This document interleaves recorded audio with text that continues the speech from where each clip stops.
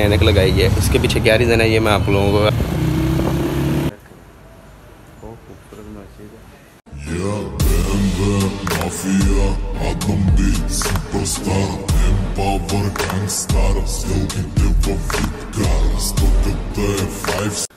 वालेकुम तो भाई welcome back to the new blog ऐसा बार मौसम बहुत कमाल का। भाई साहब मौसम चेक करें मैं आप लोगों को चेक करवाता हूँ मौसम।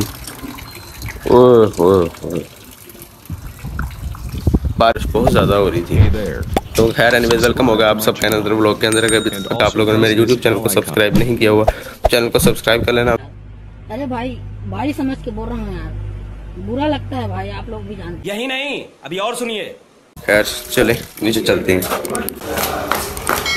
भाई साहब नाश्ते में हमारे पास है ये नान और चाय। इनको फटाफट से करते हैं और आपको बाद में मिलते हैं। One hour later. परसों हम जब गए थे ना गाँव में तो ये बूट मैंने पहने हुए थे ये काफ़ी गंदे हो गए हैं। अब इन्हें साफ़ करना पड़ेगा। तो फटाफट से इनके कर लेते हैं साफ़। आप साफ़ करती हैं पूरे चमक उठे तो डाल लेते हैं डब्बे में ये रहा डब्बा। वन टू थ्री गो वाह क्या एक्टिंग कर रहा है।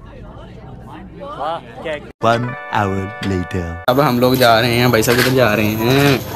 रबड़ी दूध पीने जा रहे हैं। भाई साहब हम जा रहे हैं डबड़ी दूध। रबड़ी दूध पीने जा रहे हैं तो टपड़ी। मिलते मिलते हैं आप लोगों को। सूट कैसा लग रहा है? काला। शीए बने हैं जी Shia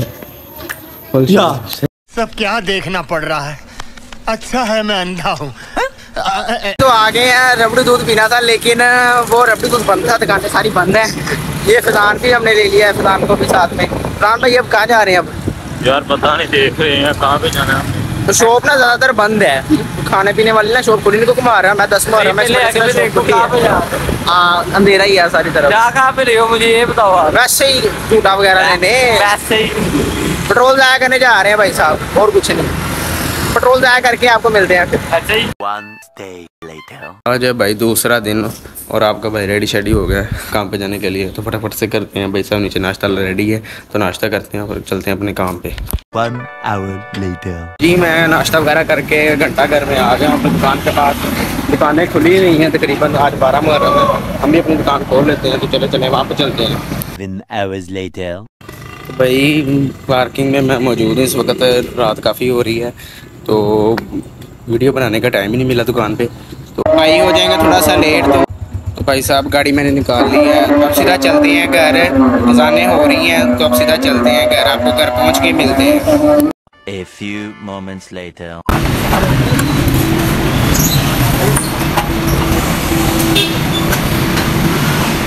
A few moments later. Petrol कम रह गया था तो मैंने सोचा कि ना पेट्रोल भी डलवा लें तो मैंने पेट्रोल डलवा लिया फिर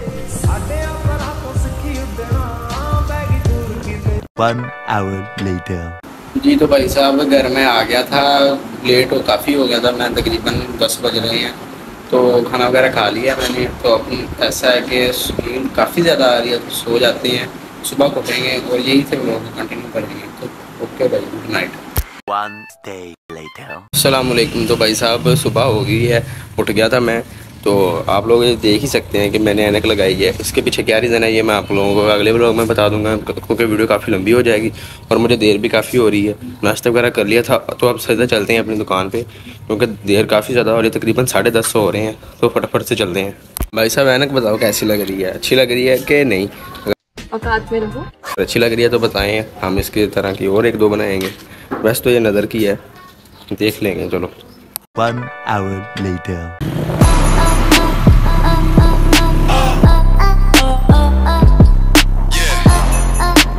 Hours later. भाई साहब मैं मस्जिद में मौजूद हूँ जिसमें हम लोग नमाज़ पढ़ते हैं ये चेक करें। बहुत खूबसूरत मस्जिद है। फैसलाबाद में ही है ये। नमाज़ पढ़ने आया तो मैंने सोचा मैं वीडियो बना दूँ आपके लिए। ये नमाज़ पढ़ने की जगह मैं Ten hours later.